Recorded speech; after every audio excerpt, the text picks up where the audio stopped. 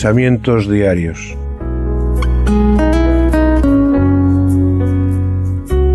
Sencillas pero profundas reflexiones para cada día de nuestras vidas. Meditaciones de la palabra de Dios nacidas de un corazón agradecido por su gracia y misericordia. Pensamientos diarios.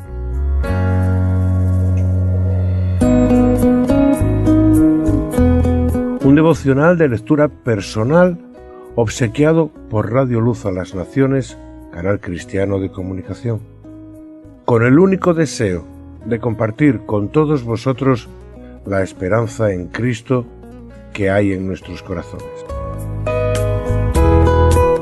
¿Por qué? ¿Por qué?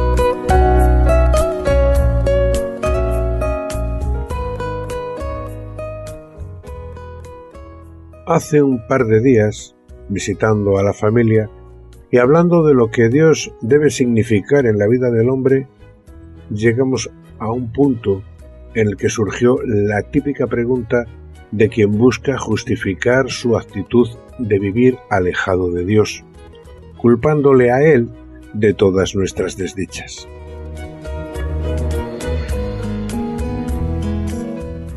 ¿Por qué, si Dios es tan bueno, pasa lo que pasa en el mundo? ¿Por qué los pobres? ¿Por qué las hambres? ¿Por qué los niños enfermos? En el libro de los jueces, en el capítulo 6, en el verso 13, vemos a un hombre de Dios haciéndose la misma pregunta.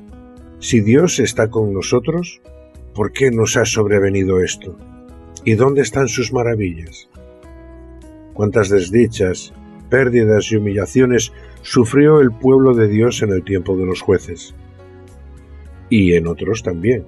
Pero aquí encontramos un gran contraste entre lo que nos narra el libro de Josué, de cómo Dios los bendijo, de cómo fue llevado de victoria en victoria, y de cómo los enriqueció con una tierra nueva llena de abundancia, a lo que encontramos justo a continuación, pérdidas, contiendas, luchas, derrotas y desamparo.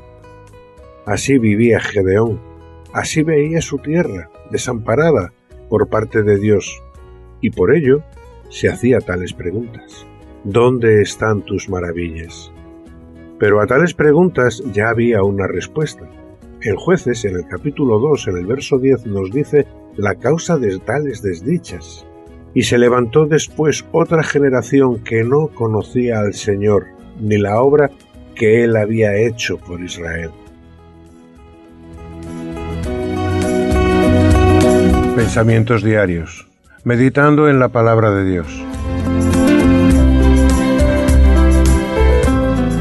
Santificad a Dios el Señor en vuestros corazones, y estad siempre preparados para presentar defensa con mansedumbre y reverencia ante todo el que demande razón de la esperanza que hay en vosotros.